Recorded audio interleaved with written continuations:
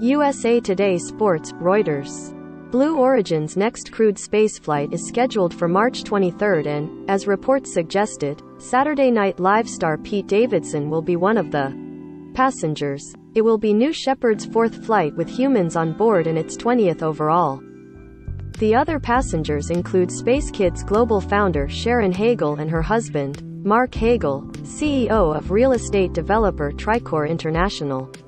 Angel, investor and former Party America CEO Marty Allen, University of North Carolina professor Jim Kitchen and Commercial Space Technologies president Dr. George Nield are also taking the trip.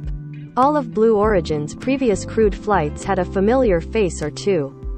Blue Origin and Amazon founder Jeff Bezos and aviation pioneer Wally Funk were on the maiden trip last July. William Shatner took the record from Funk as the oldest person to reach space at 90 years old on the second flight.